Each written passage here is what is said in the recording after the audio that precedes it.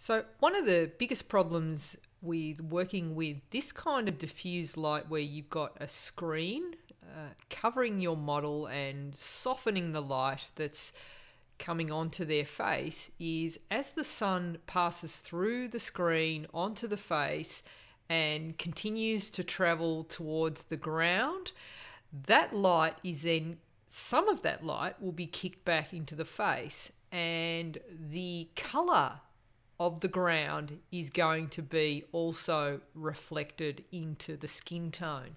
So in this case, we've got bright green grass. So the sunlight passes through the reflector, hits the ground, and a, some, a, a tint of green is going to be reflected in the skin tone. Now, this is something that you don't always notice. Uh, and if you were using something, say, like a silver reflector or a white reflector, it may uh, override that, that green skin tone. Uh, and a good trick is to also put a white or a silver reflector just in front of your model so that it's actually clean white light that is bouncing into the face. So in this instance, we don't have anything on the ground, and you can see there are hints of green that are reflected into the uh, highlights there. So you've got some there on the nose, under the eyebrow there,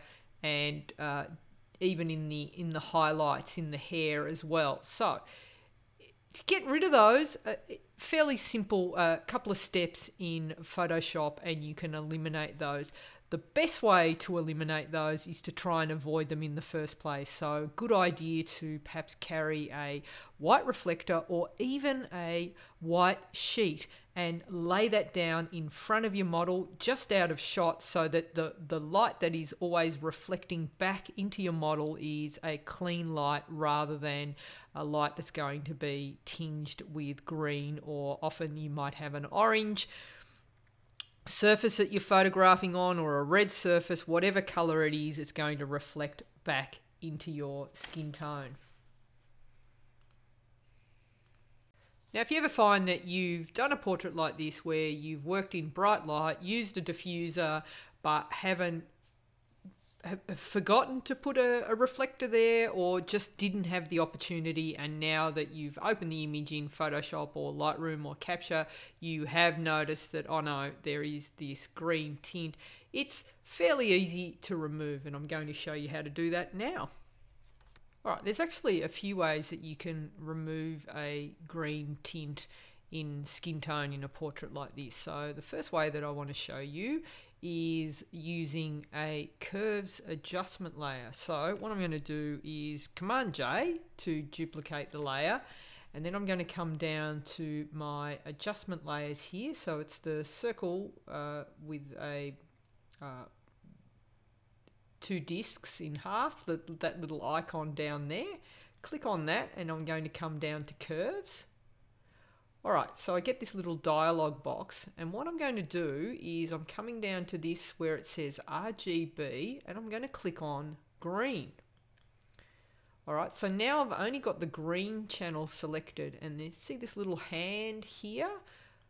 I can now bring this color picker here into my, I'm just going to zoom in. So I'm going to now highlight the most uh, affected areas where it's the most green. So here under the under the eyebrow, I'm going to click on that. Now, if I drag up, it's going to actually increase the green and we get this uh, incredible Hulk thing going on. So I know that to reduce the green, I need to drag down. And I'm just looking at that little area, that little patch, until it starts to sort of take on a more neutral look. So about there, okay. And then I might do another one just in here and you can see that it's adding the points if you look on on the diagram it's adjusting the curve with each little addition that I make I might do this little nose area here alright and maybe just as a final one just under here. Okay, so if I come back to my layers now, you can see what I've done, what, what, what Photoshop has done is actually added uh, some of the opposite of the green, which is magenta. So I don't want to actually adjust the the entire image. I just want to adjust the areas that have been affected by that green tint. So what I'm going to do is hide everything that I just did in the layer mask by hitting Command I and that's going to invert all that. And now I can come back with a brush. I've got white as my foreground color selected and everywhere I brush with white is going to reveal that new uh, magenta tone that I've just added to the image. So I'll make sure that my mode is normal. I've got a nice soft brush selected, so zero hardness, opacity 100%. I'm going to have my flow down very low, around 6%. So what I'm going to do is now come in and just start brushing in those areas and you can see you can see just in in in here in the layer mask uh, where I'm brushing with white will appear. It will reveal what's underneath. So if I as I brush on the areas of green that I want to remove the tint it's now replacing that with its opposite on the color wheel. So basically it's just uh, neutralizing that that green tint and you get a much more natural looking skin tone. So fairly low flow and I can build on the areas where I want to add more. And if I think I've gone too far, I can hit X, which will change my foreground color to black. And I can come back and just go over those areas where I think I'm adding too much magenta and go back to white. And if I just toggle on and off, you can see especially this area here where we're getting rid of the green. And I can see like quite a lot here under the under the neck there the, where, where it's bounced in. All right and I can also see a lot in the hair a lot of green reflected in the hair. So I'm just going over that area there into the highlights. Just getting rid of all that Okay, and so once I've done that and I'm pretty happy with it, I look over the whole image and it may in fact be that I've gone too far the other way and uh, I've added in too much magenta. And so I can just knock back the opacity of the layer because I can see her uh, neck is looking a little bit too red. So all I need to do now is just knock it back a little bit so that it looks a little more natural. So probably somewhere around 60%. So let's toggle on before and after and you've got a more neutral looking uh, shot there and I can even come in and build up some more on the areas where I just want to get rid of that green a little more. All right, so that's one way to do it, and now I want to show you another way. One of the easiest ways to remove a color cast is to use the opposite color uh, in, in the editing process. And the way I do that is the first thing I'm going to do is duplicate the layer. So that's Command J. So now I have an exact copy of that layer, my background layer, I've replicated it exactly.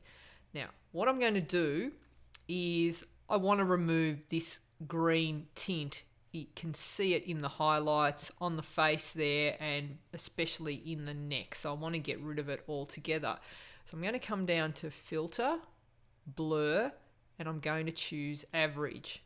And when I do that, what happens is that Photoshop takes the average of all the colors and blurs it and, and you get the color that's most prominent in the image, which in this case is this green. That's the color cast. So that's the actual average of the color cast. Now, if I invert that, so create it the opposite and blend those two together, one is going to cancel the other out. So if I hit Command I, I've now got the opposite of green, which is, in this case, or the opposite of this sort of pastel green is a pastel purple. Now, technically, this is the opposite of the green. If I blend this layer into my original image, where it's green will be cancelled out by the purple and I should get a neutral tone. The one step that I need to do before I do that is change my blend mode from normal to colour. And okay, so we've blended out all the colours, taken out all the green, added the purple, and we get a completely neutral tone. So that's overkill. But if I now take the opacity and knock it back to about 50%, you'll see, and just having a look at the skin tone, that it's looking pretty good and we've got like a pretty neutral looking skin tone. Like in fact, too neutral, so I can bring it back maybe to about 40 and it's going to vary depending on the shot, the particular shot that you've had in, that you've created yourself. So even 30. Let's have a look at that. Before and after, and have a look where the green is. We'll just go up a little bit. We'll go to 40. And that's pretty much gotten rid of the whole tint. What it's also gotten rid of is it's taken the saturation out of my grass and it's taken a lot of the colour out of her face. So what I'm going to do is rather than leave it at that, I'm going to create a layer mask. So it's this little icon here. And now I'm going to invert the layer mask. So what I've just done is hidden every every uh, everything that I've just done. So underneath this layer mask is this purple tone that's been added over the green. And now what I can do is take my brush, zero hardness, blend mode normal, opacity 100%, flow at 6%, and I can come in, brushing with white, and wherever I brush, I'm going to just be adding that sort of magenta-y, purpley tone, which is the opposite of green, and it gets rid of the green pretty much. So I can just increase my flow as well, just so it's a bit faster.